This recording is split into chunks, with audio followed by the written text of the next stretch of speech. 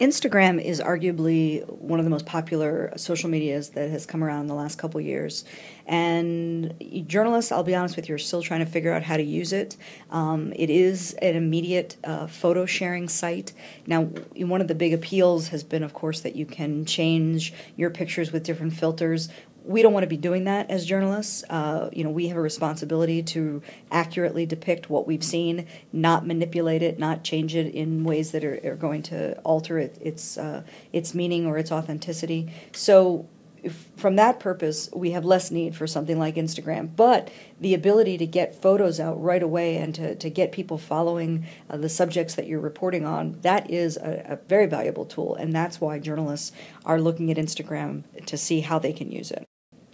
So here's an example of uh, NPR um, has its own Instagram, and it basically shows pictures. I mean, we all know NPR is radio, so it's not like they're you know reliant on images but they are getting images and they do have a website that they populate with stories and images. And so this is a place you can see they posted 259 photos already. They have 213,000 followers. So you know this is what they're doing is they are uh, creating a place where we can go and look at pictures so here's an example of uh, NPR's Instagram page. So um, around the Earth, that moon was pretty super. Uh, talking about um, on in June uh, we had a, a super moon. It was especially close. So um, you can see that there's pictures. Here's a, another picture story they did on what happens to an Olympic city. But you know here are photos that were taken um, that they're just you know they're sharing with us, uh, and then we can take a look at some other uh, pictures that they have. So this is pretty much kind of what we're doing with Instagram is uh, being able to capture pictures. You can not only capture your own pictures, but of course you can have uh, people post to your Instagram if you uh, want to have, uh, you know, the uh, kind of eye reporting. So basically, we're using Instagram as for branding and, and to engage our viewers and our readers and uh, to get people involved in another way. Um, it's it's just it's one more way that we can be social through social media. We're also using it again, as I mentioned, to crowdsource. So we can, in terms of getting other people uh, who are uploading pictures. So if you have a situation like the Boston Marathon bombing, of course there are people who are taking pictures there. They're posting to Instagram. We're able to find those pictures, contact those people, say, hey, can we use your picture? Pictures in our uh, publication, in our broadcast, or whatever, and you'll notice there's a lot of that activity now taking place. So, you know, here's the Wall Street Journal on Instagram. This is one of the official accounts that you're going to see.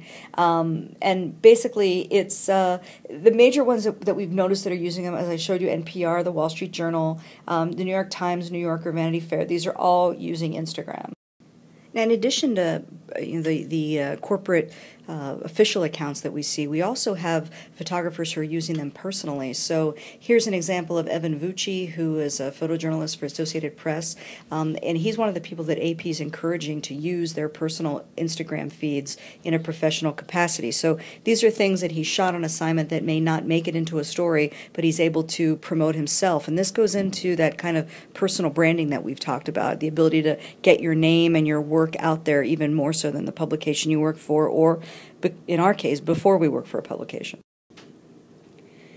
So, you know, one thing Instagram uh, people say about it uh, versus other social networks is that you really feel news. So you, you get a real, whenever you're dealing with visual imagery, it evokes emotion. Um, it's really, it's, it takes the least amount of effort for it to be incorporated into your thought process. So that's what we're looking for from Instagram is to, is to connect with people on a social network, uh, dealing with our news, creation and our, our news consumption, but one that helps them feel the news that they're experiencing. So, you know, we're still getting these kind of stylized photos and these on the go location shoots. We're also getting an outlet for eyewitnesses. So, whenever you have something that's happening in your community that you're interested in getting pictures of, and, and we all know they're cutting photo staffs like crazy. Uh, Chicago Tribune, of course, laid off their entire photo staff. CNN did something similar with all their, their videographers. So, um, you know, we need to be sure that we are accessing information where we can, and this is another great platform for that. There are limits, though, and the big one is uh, you're not going to see it on Twitter. So, Twitter and Instagram are uh, not playing nicely with each other. Instagram, uh, of course, has been purchased by Facebook.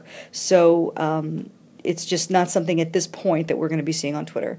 And we also know that Instagram uh, had a pretty big to do when it uh, was saying that it was going to utilize the photos that were uploaded there, that you, they were going to be allowed to use them for ads. So just know that when you put your stuff up there, as it is with everything that you put up, it's public and it's in the public domain.